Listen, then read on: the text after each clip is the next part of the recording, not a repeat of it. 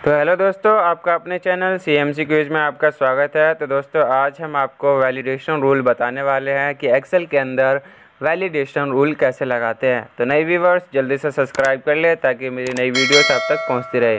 तो दोस्तों, यहाँ पे थोड़ा सा हम बड़ा कर लेते हैं ताकि आपको जो है अच्छे से दिखाई दे। तो दोस्तों वैलिडेशन रूल लगाने वाले हम। तो वैलिडेशन रूल जो है आपका डेटा टूल के अंदर आता है। डेटा मेन्यू के अंदर डेटा टूल के अंदर आपका वैलिडेशन रूल आता है। तो दोस्तों वैलिडेशन एक तरह का क्या है? Pick pick from a list rules to limit the type of the data can be enter enter in a cell यानी कि लिमिटेशन जो है वैलिडेशन रूल का क्या मतलब है कि एक तरह का लिमिट लिमिट हम सेट कर देते हैं कि इससे आगे या इससे पीछे बंदा नहीं जा सकता। अगर हम, मैंने कहा कि पाँच करेक्टर वाले बंदे ही, जिनका नाम पाँच, जिनका नाम जो है, पाँच करेक्टर के हो, वही बंदे आए, उससे ज़्यादा वाले ना आए तो इस तरह का हम कुछ वैलिडेशन रूल लगा सकते हैं। या ऐसा कह सकते हैं कि यहाँ पे हम वन से लेकर टेन या ज़ीरो से लेकर टेन तक ही वैल्यू एंटर हो, उससे ज़्यादा वैल्यू एंटर ना हो तो ऐसा भी हम कर सकते हैं। तो यही है वैलिडेशन और चलते हैं दोस्तों तो वैलिडेशन कैसे लगाते हैं, वो आपको करके दिखाते हैं। दोस्तों, इसमें से भी क्वेश्चन आपके आईटीआई के प्रैक्टिकल एग्ज़ाम में आ सकता है। तो चलते दोस्तों वैलिडेशन रूल लगा के दिखाते हैं आपको। सबसे पहले दोस्तों, हमें क्या करना पड़ता है? यहाँ से हमें सेलेक्ट करना पड़ता है होल कॉलम को। तो यहाँ पे हमने कॉलम सेलेक्ट कर लिया है और चलते हैं यहाँ पे डेटा वैलिडेशन रूल के ऊपर। तो दोस्तों, यहाँ पे सबसे पहले हम लगाएँगे एनी नंबर तो दोस्तों पूरे के पूरे आपका जो एक्सेल का सीट है, उस पर लगा होता है, इसलिए हम कोई भी वैल्यू उसमें एंटर कर सकते हैं। यहाँ पे लगाएँगे हम होल नंबर अब होल नंबर लगाएँगे दोस्तों बिटवीन यहाँ पे बिटवीन है not between equals to not equals to greater than less than greater than और इक्वल्स टू या लेस देन या इक्वल्स टू तो दोस्तों, जो भी अगर आपका क्वेश्चन में आए, उस हिसाब से यहाँ पे आप कर सकते हो। लेकिन हम लगाएँगे बिटवीन में। तो बिटवीन क्या होना चाहिए दोस्तों कि ज़ीरो मिनिमम वैल्यू जो एंटर हो उसमें ज़ीरो और मैक्सिमम जो हो वो टेन हो। तो दोस्तों यहाँ पे क्या होगा कि ज़ीरो और टेन के अलावा कोई भी वैल्यू इस वाले कॉलम में नहीं लेगा। तो इनपुट मैसेज में लिख देते हैं ताकि जो जो भी वैल्यू एंटर करे उसको पता चल सके कि होल नंबर एंटर तो यहाँ पे उनको पता चल जाएगा कि क्या नंबर एंटर करना है। अगर उससे ज़्यादा कोई एंटर करता है तो उसको क्या करेंगे उसके लिए क्या होगा कि यहाँ पे एक मैसेज एरर अलर्ट लिखा आ जाएगा कि नोट एग्जिस्ट तो यहाँ पे ये भी हमने लिख दिया है। तो दोस्तों, ये हम लगा दिए हैं वैली वैलिडेशन रूल सीरियल नंबर के ऊपर। तो यहाँ पे दोस्तों, देख सकते हो, अगर मैं ज़ीरो डालता हूँ तो ये ले लेता है। वन भी डालता हूँ तो ले लेता है। टेन डालता हूँ तो भी ले लेगा ये। लेकिन जब अगर कोई बंदा इलेवन डालता है तो ये नहीं लेगा। देख लो दोस्तों, यहाँ पे आ चुका है एरर बॉक्स में कि नॉट एग्जिस्ट कैंसिल करते हैं तो वैल्यू हट जाएगी। और यहाँ पे इसके साथ साथ देख सकते हो दोस्तों, यहाँ पे अगर कोई बंदा वैल्यू एंटर करेगा तो उसको पता चल जाएगा कि यहाँ पे होल नंबर डालना है।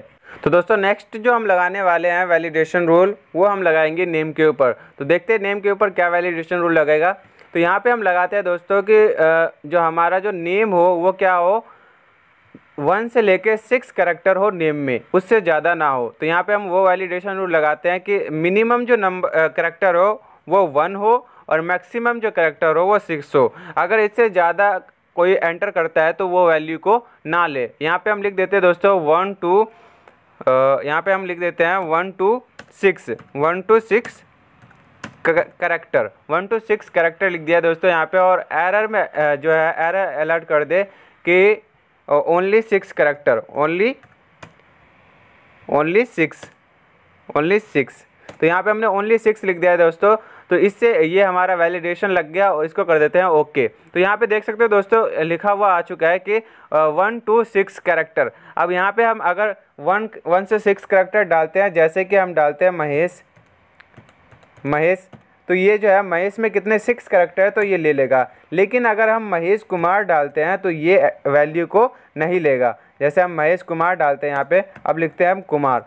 अगर एंटर मारते हैं तो दोस्तों देख सकते हो यहाँ पे आ गया ओनली सिक्स कि ओनली सिक्स करेक्टर इसमें एंटर करे। अगर उससे ज़्यादा होगा तो ये वैल्यू को नहीं लेगा। तो सिंपली इसी को कहते हैं हम वैलिडेशन रूल तो दोस्तों ये वैलिड नेम के ऊपर हो गया। अब आते हैं दोस्तों डेट ऑफ़ बर्थ अब डेट ऑफ़ बर्थ के ऊपर क्या वैलिडेशन रूल लगेगा वो जानते हैं। जैसे कि दोस्तों कई जगह पे आपको दिख जा दिख जाता होगा कि आ, इतने से इतने वाले बंदे ही या इस डेट से इस डेट तक ही एंट्री होगी उसके बाद नहीं होगी। तो यही दोस्तों यहाँ पे हम डेट में आ चुके हैं और डेट सेलेक्ट करते ये हमने डेट सेलेक्ट कर लिया है।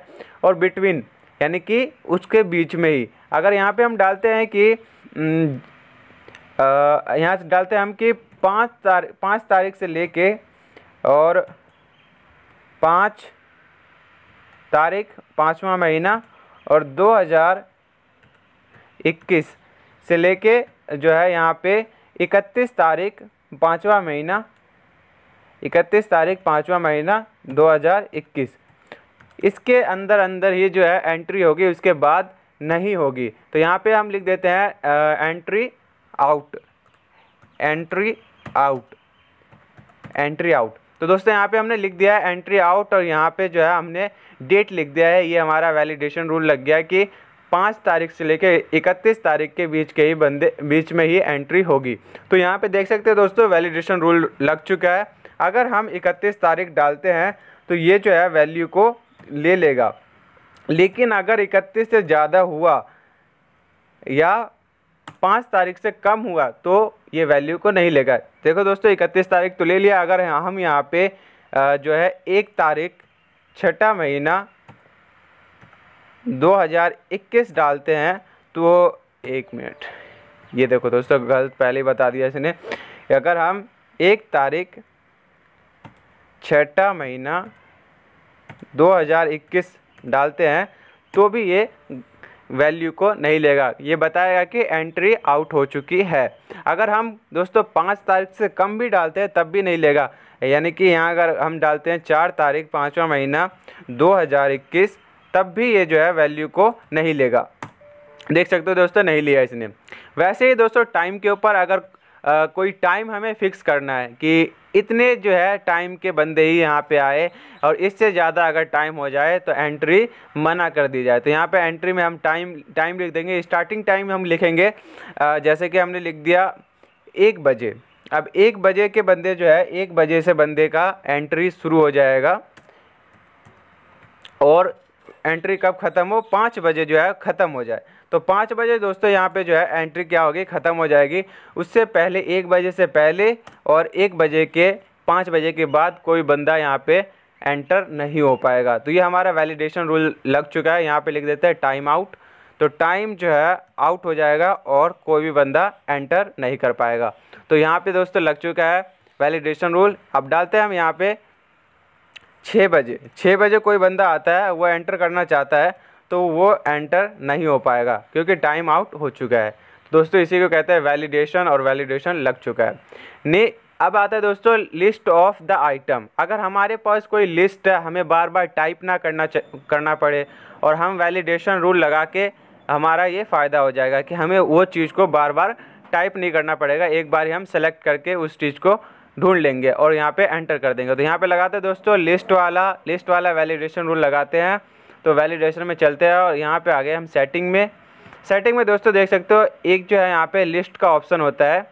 तो लिस्ट का जो है ऑप्शन हमने ले लिया। अब यहाँ पे दोस्तों कह रहा है सोर्स अब कहाँ पे आपका जो पहले से लिखा हुआ है, उसको हम कर लेंगे सेलेक्ट तो दोस्तों यहाँ पे हमारा देख सकते हो लिखा हुआ है, हम इस पूरे को सेलेक्ट कर लेते हैं। पूरे को सेलेक्ट करने से दोस्तों फ़ायदा ये हुआ कि अगर हम इसके अंदर कुछ एंटर करते हैं तो यहाँ पे भी एंटर हो जाएगा वो। तो हमने ये सिलेक्ट कर लिया दोस्तों, इसको कर देते हैं हम ओके तो देख सकते देख सकते हो दोस्तों, यहाँ पे जो है वैलिडेशन रूल लग चुका है, और यहाँ पे जो है आपको नेम जो है जो है नेम यहाँ पे आपको दिख जाएँगे सारे के सारे। ओनली यहाँ पे सेलेक्ट करो और वो नेम यहाँ पे आपका आ जाएगा। जो भी नेम आप सेलेक्ट करोगे, वो नेम आपका आ जाएगा। जैसे कि मैंने यहाँ पे दो किए कीबोर्ड पेन ड्राइव तो वो आ चुका है मदरबोर्ड तो दोस्तों, यहाँ पे देख सकते हो दोस्तों, ये आपका होता है लिस्ट ऑफ़ द आइटम तो यहाँ पे वैलिडेशन रूल का इतना फ़ायदा। चलते दोस्तों नेक्स्ट वैलिडेशन लगाते हैं। नेक्स्ट लगाएँगे हम दोस्तों प्राइस के ऊपर। तो यहाँ पे देखते हैं कौन सा वैलिडेशन बच चुका है आप दोस्तों। तो यहाँ पे बच चुका है दोस्तों पहले कर लेते हैं हम इसको क्लियर हमने लगा लिया एनी वैल्यू तो लगी रहती है। होल नंबर लगा लिया। लिस्ट लगा लिया डेट लगा लिया टाइम लगा लिया और टैक्स लेंथ भी लगा लिया। बच गया दोस्तों हमारा डेसिमल और एक बच गया हमारा कस्टम तो कस्टम क्या है दोस्तों? कस्टम में आप जो है अपने हिसाब से कुछ भी लगा सकते हो। जैसे आपका आप, आप कोई फार्मूला लगाना चाहते हो तो वो लगा सकते हो। मैं लगाता हूँ दोस्तों यहाँ पे आपका डेसिमल तो डेसिमल में क्या है दोस्तों कि मैं चाहता हूँ कि जो फाइव टू पॉइंट फाइव से लेके टेन के बीच में जो डेसिमल नंबर हो उन्हीं को ले या टेन तक ही वैल्यूज़ को यहाँ पे ले। तो वो लगाते हैं दोस्तों। तो मैं लगाता हूँ टू पॉइंट फाइव से लेके टेन तक के। तो इससे, इसके अलावा जो है कोई वैल्यू यहाँ पे एंटर नहीं होगा। कर लेते हैं ओके और करके देखते हैं दोस्तों। तो यहाँ पे अगर मैं डालता हूँ टू पॉइंट सिक्स तो वो जो है वैल्यू को एंटर कर लेगा। टेन भी डालता हूँ, तब भी वैल्यू को एंटर कर लेगा। लेकिन अगर मैं टू पॉइंट फोर डालता हूँ तो ये वैल्यू को क्या है वैल्यू को नहीं लेगा। तो देख सकते हो दोस्तों, पहले ही बता दिया, ये अगर मैं टू वैल्यू डालता हूँ तो भी ये वैल्यू को नहीं लेगा। तो ये था दोस्तों आपका वैलिडेशन आशा करता हूँ कि आप लोग समझ गए होंगे कि वैलिडेशन क्या होता है और वैलिडेशन रूल कैसे लगाते हैं एक्सेल में। तो थैंक यू दोस्तों thank you for watching and keep subscribe ताकि मेरी नई वीडियोस आप तक पहुँचती रहे।